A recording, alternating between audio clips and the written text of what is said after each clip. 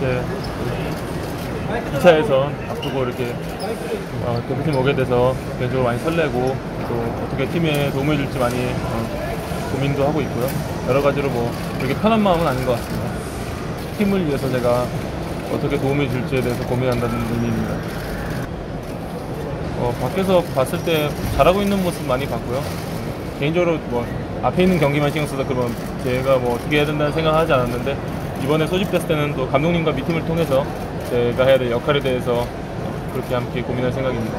뭐 저는 전술에 따라서 제 장점과 어, 단점이 분명한 선수이기 때문에 어, 저에게는 맞는 전술이 필요, 필요하다고 생각합니다. 하지만 대표팀이란 곳은 제 개인적인 어, 전술에 따라서 움직이는 팀이 아니기 때문에 어, 여러 가지 미팅을 통해서 제가 팀에 맞추도록 노력하겠습니다.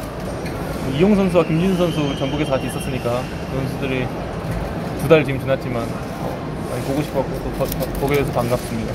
화면으로 봤을 때보다 인상이 그래도 좋으신 것 같고 어, 반갑게 인사하고 앞으로 더 잘 알아가야 될 것 같아요.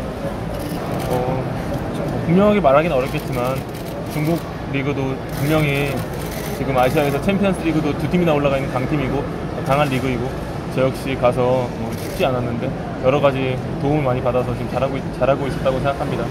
어, 앞으로도 뭐 더 잘해야 될 모습이 많기 때문에 아직까지는 뭐 완벽하지는 않다고 생각합니다. 그렇죠 사실상 저는 뭐 작년 월드컵 끝나고는 지금까지 대표팀에 오지 않았었는데 어, 이렇게 뭐 전북에서의 좋은 모습과 또 이적을 통해서 여러 가지로 또 그렇게 좋은 그 팬분들이 칭- 여러 가지 칭찬이 있어서 그런 것에 대해서는 감사하게 생각하고 이제 중요한 거는 제 앞에 있는 이 두 경기라고 생각합니다.